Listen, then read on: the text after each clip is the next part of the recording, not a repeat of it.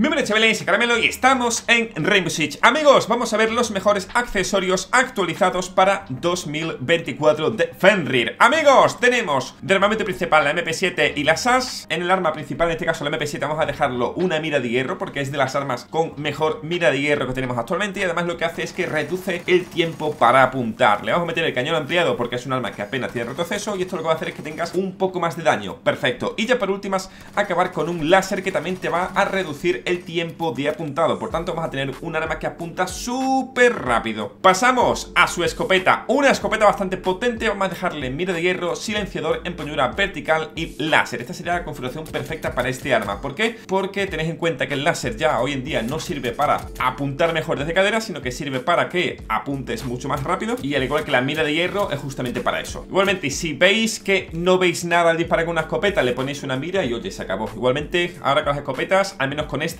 nunca disparéis desde cadera. Con la Bayleaf y la Phase 7, igual. Láser y láser y freno de boca, ¿vale? No hay mucho más que decir aquí, ambas son pistolas Una es pistola escopeta, pero bueno. Y de última, yo soy muy fan de los alambres, así que en este caso Alambres para Fenrir. Sin más, like arriba y por supuesto suscríbanse si aún no lo están ¿Cómo? ¿Que aún sigues por aquí? No te preocupes, lo entiendo. ¿Quieres seguir viendo más vídeos míos? Lo entiendo, no te preocupes. Mira, por aquí te dejo una lista de reproducción para que veas ahí todo lo que te dé la gana de mi canal. Y por el otro lado, no te preocupes, el último vídeo subido en mi canal. Sí, sí, sí, como te lo digo. Venga, ahora sí que sí. Hasta luego, ¿eh?